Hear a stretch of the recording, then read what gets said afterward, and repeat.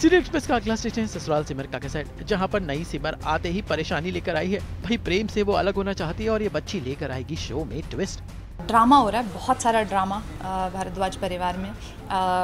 सच छुपाया जा रहा है आप लोगों को पता चल जाएगा आ, पर सच छुपाया जा रहा है तो उसकी वजह से बहुत सारे लोगों के रिएक्शंस आ रहे हैं। किसी को कुछ समझ में नहीं आ रहा है कि हो क्या रहा है क्योंकि आ, जो अभी घटना घटी है वो बहुत ही अविश्वसनीय है सबके लिए।